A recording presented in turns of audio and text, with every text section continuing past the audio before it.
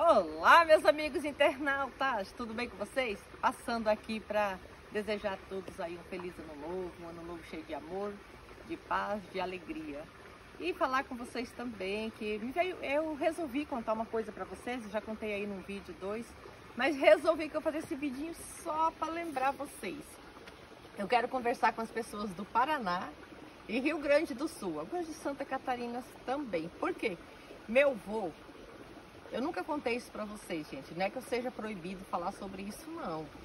É porque eu também não quis me aproveitar disso.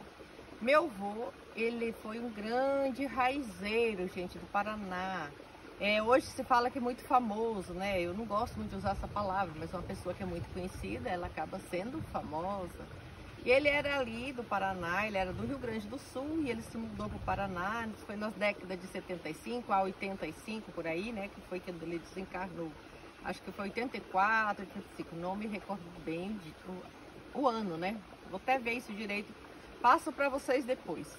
Mas o que que acontece? Eu quero chamar a atenção de vocês aí do, de Cascavel, de Capitão, de Realeza, Francisco Beltrão, Planalto, Rio Grande do Sul, esses lugares aí, ó, essa região aí, essas pessoas que têm a minha idade, ou são mais velhas do que eu, muitas ouviram falar e muitas conheceram e muitas até fizeram tratamento caseiro, benzimento, é, tomaram algum medicamento caseiro, receberam tratamento espiritual, benzimento.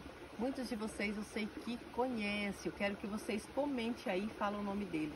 Depois eu falo o nome dele para vocês, mais para frente, tá, gente? Eu nunca falei isso para vocês, para ninguém falar que eu estava me aproveitando de uma situação.